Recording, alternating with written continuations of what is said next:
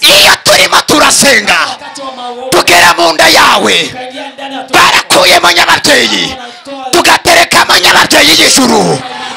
Baravuze ngo ntabwo uzabyara. Tugaterekamo umwana iyo turimo turasenga twinjira muri ambasade tugasinya viza barayikwimye.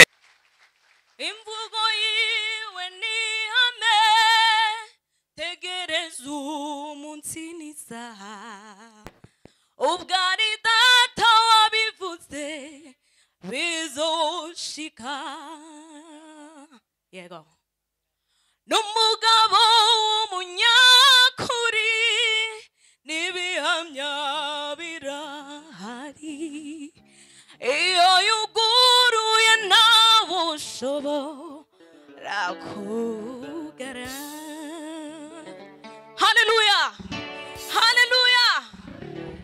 nanjye nejejwe n'imana mu mutima wanjye naje gusenga nari kuwa kabiri mu byifuzo nari maranye igihe kirekire icyifuzo numva kiremereye umutima wanjye nza kuwa kabiri profete turabonana agira ibyo ambwira arambwira noneho kuwa kane uzaza ahangaha uzuzanye icyangombwa cyawe. Nashakaga viza ndashimana ko kuwa kane naje ahangaha akayifataho nari maze hafi amezi nk'arindwi ndi gushaka viza nenda kuba umusazi byaranze kuwa kane akimara kuyifata mu ntoki ze naragiye kuwa gatanu kuwa gatandatu ku cyumweru kuwa mbere ndavuga ati rero mana ubu uyu munsi muri iki cyumweru ndashaka kunyiyereka.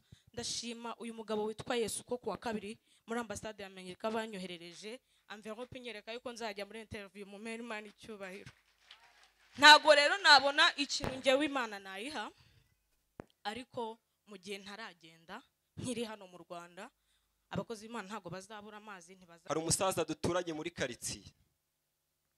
Yari afite ikibazo ariko akigira ntakizi. Twahuraga mu nzira agenda ukabona ni umuntu. Sinzi uburyo nari ndi gucukuza telefone n'aya matelefone ni meza. Ngiye kubona mbona umusaza ahagaze imbere y'umukozi w'imana pasiteri. Hari akazi gato imana yampaye ku buryo gashobora guhuriraho abantu nibure mirongo itanu ku munsi tugahurira ahantu hamwe. Batambuka bagenda. Nza kubona umukiri umwe w'umubyeyi mbona ari kwerekana iyi foto y'uwo musaza. Mbona umukozi w'imana ari kumusengera. Avuga ubuhamya bwe buryo yararaga hanze arara agenda uwo musaza duhana imbibi. Akagenda agacumbika none yagere mu rugo iwe abadayimoni ati ndakwica nurara muri uru rugo. Akajya kurara ku muturanyi bwacya akimukira ahandi bwacya akimukira ahandi ahora mu ruzerero. Sinzi umuntu wamurangiye aramubwira nti nyamara ugiye ahantu watabarwa. Umusaza yaje kubikora ni bwo nyuma naje kubireba umusaza yarakize. Nza kumubona mu muhanda ndamutegera. Njya kumushakisha. Ndamubwira nti muze hari ahantu nakubonye ku mafoto. Biriya bintu ni byo koko? Cyangwa bifite ubundi buryo byakozwe. Umusaza arambwira nti ni ukuri. Aha ndi kwibaza niba nzazamuka n'amaguru njye i kigali kugira ngo njye kuvuga imana nahabonye. Ningenda n'imodoka ntabwo bizanshimisha ahubwo wakora urugendo n'amaguru. Ndamubwira nti ibyo bintu ni ukuri. Nti ni ukuri. Ni nawe wanyoboye ambwira ngo nyura hano nyura hano ugende uzaruhuka uhageze. Ariko uyu munsi uwo musaza mu mujyi wa kamembe ameze nk'umwambasaderi ari kurarika abantu. Ari kubwira abantu ari kubwira abantu. Eh, ari kubwira abantu rwose ameze nk'umuntu uri gutanga amatangazo. Ari kubwira abantu ngo abantu murushye abantu mubuze uko mubigenza. Nimuze mbajyane. Hari ahantu nabonye nahasanze imana. Ariko bidushobokeye nk'umukozi w'imana akazahagarara muri uriya mujyi wa kamembe. Mwakumva ibitangaza bihari. Imana ishimwe. Gana nawe buri kintu cyawe cyatatanye buri mugisha wawe watatanye. Tugiye kuwuhamagara ugaruke buri mugisha wawe wagiye. Ugiye kugaruka. Wamvugira amena. Buri nguni zose z'isi. ya-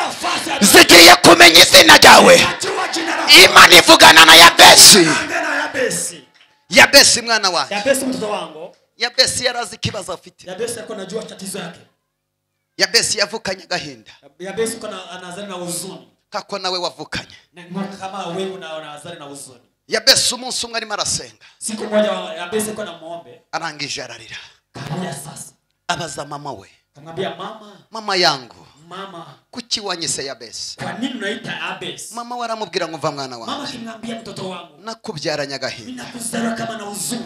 Umubabaro kama na huzuni tena. Hari abantu bari hano. Kwa watu hapa. Bavukiye mu bikomere. Wanazaliwa kwa wakati wa huzuni. bavukira mu gahinda nk'akayabesi wanazaliwa wakati wa huzuni. Hari umuntu urimo uranyumva uri hano hari umuntu urimo uranyumvura hano wavukanye umubabaro n'agahinda. Avukira mu buzima bushaririye. Akurira mu buzima bushaririye. Ashakira mu buzima bushaririye. Yewe n'uyu munsi uracyaburimo ngo yabese arapfukama. Ararira. Ajya mu butayu.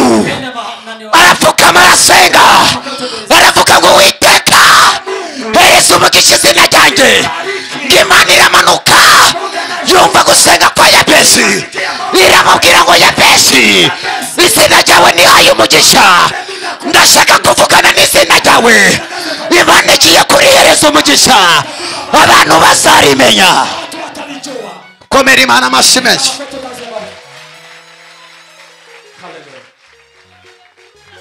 ni wowe mvugana nawe yabesi. Hereza uwo muntu ikiganza umubwire ngo umubabaro wawe imana iravuze. Mubwire ngo agahinda kawe imana irakaze. Ririya joro urarurira imana yararibonye. N'ibyago ufite imana yarabibonye. Agahinda ufite imana irakaze. Intambara ufite imana irazizi. Ntabwo nzaho byapfiriye. Ariko yesu nabigeraho birahumura. Yageze kwa lazaro moja siku ine nakufa arangije avuga ko lazaro ijambo rikomeye. Akasema neno kubwa kwa lazaro agerayo byanutse. hari amakosa atatu imana itakora ikosa rya mbere imana itagikora imana ntiyagutabara utaraseba. Imana irareka ukabanza ugaseba. Ukambara umwambaro w'igisuzuguriro. Ugahinduka itangazo ry'abantu bose. buri muntu wese akaguteraho komanderi yumva. Ukabitangaza kweri.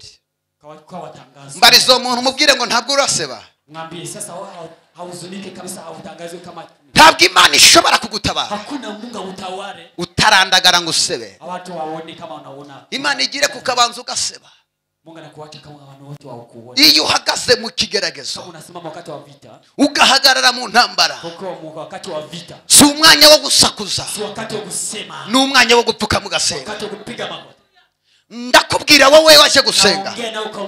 N'abadukwikiye online. Niba uhagaze mu ntambara. Igahuceceka wigene gusenga. Iyo umuntu acecetse abanzi ntabwo bamenya icyo atekereza iyo umuntu arimo arasenga. Avuguruza imigambi y'abamugambanira.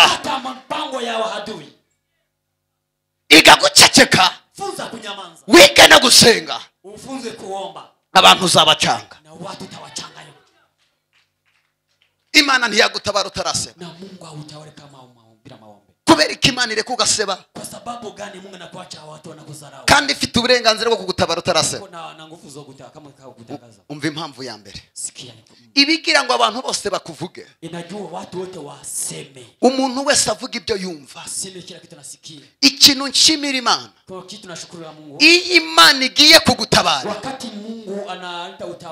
Igenda muri ba bantu biriwe bakuvuga.